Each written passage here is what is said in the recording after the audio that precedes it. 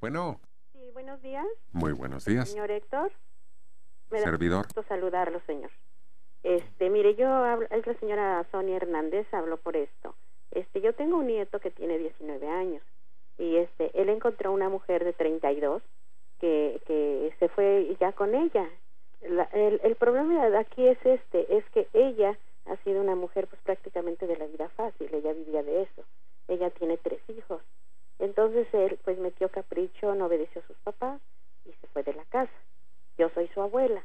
Entonces yo lo único que quiero es saber si yo lo busco, yo yo lo puedo ayudar, eh, porque él se fue a rentar, él se fue con ella y este y él es más ya está eh, a los niños le dicen papá entonces, pues yo sí estoy muy angustiada porque es un muchacho de su casa.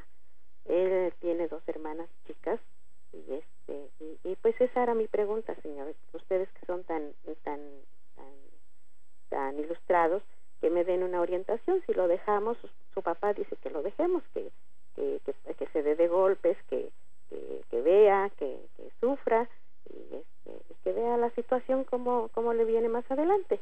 Ese, esa es mi pregunta. Ándele, gracias. Muy amable, gracias. Buenos días. Oiga, pues el papá tiene razón, fíjese. ¿Cómo va usted a arrancarlo de un hogar donde tal vez en su casa ni en cuenta lo tomaban? Bueno, porque así me pasaba a mí. Ni caso me hacían.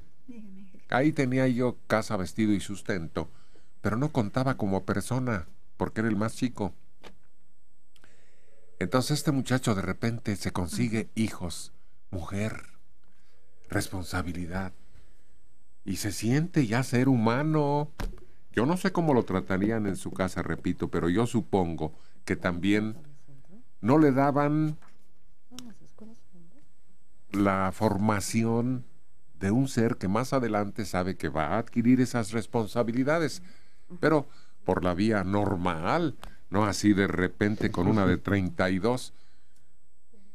Y sobre todo, mire, si esta mujer, no diga usted que es de la vida galante, porque ¿para qué demeritamos el valor de una persona señalando que es así o es asá? Aunque sea de la vida galante, abuelita. Aunque así sea, no lo diga porque suena a insulto, a rebajar a la otra persona todavía más. ¿Pero qué estaba diciendo? Ah, que lo dejen. Sí, el papá tiene razón. Si la embaraza otra vez, que sería el mayor riesgo, pero ojalá que no. Ah, iba a decir yo esto.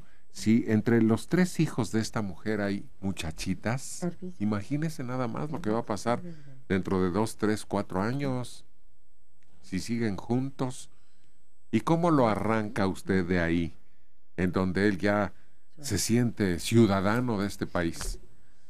No, yo creo que el papá tiene razón. ¿Tú, Dora, qué piensas? También que el papá tiene razón, que no solo se siente ciudadano, sino que se siente hombre, que puede ser eh, una mujer, como dijo, ligera.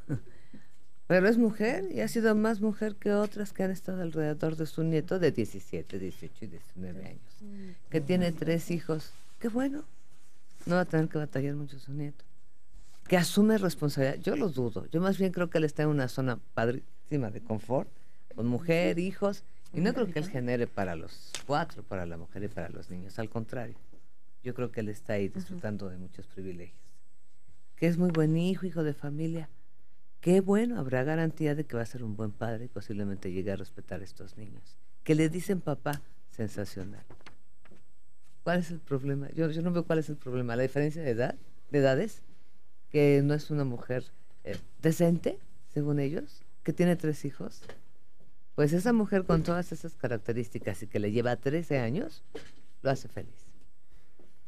Yo también estoy de acuerdo con que el papá como hombre, no como papá, fíjate, él lo está viendo como hombre, dice, déjenlo. Como papá, a lo mejor impondría su autoridad, pero es hombre y un hombre sabio, además.